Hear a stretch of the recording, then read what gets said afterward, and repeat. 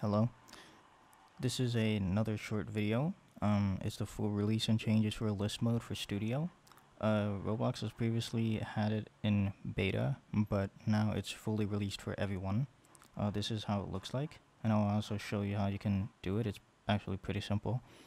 Um, you can see non-root places. So like if you go to the asset manager and add a place in a game, uh, you you normally won't be able to see it, but with this now you can by double clicking it.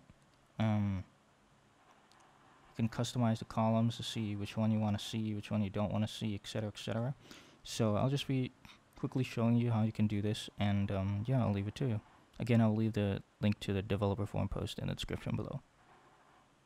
So now that you're in Studio, all you have to do is just go to My Games, and then click the list icon right here, and then there you have it. That's the new list. Can right click on the description, you can right click over here, you can right click on share a game, publish game, whatever, and as you can see I have another game inside that's not visible. I just double clicked it and it worked. It just showed right that. So yeah, it's, it's pretty simple, pretty easy. Um, and yeah, that's pretty much it. See you guys in the next one. Peace.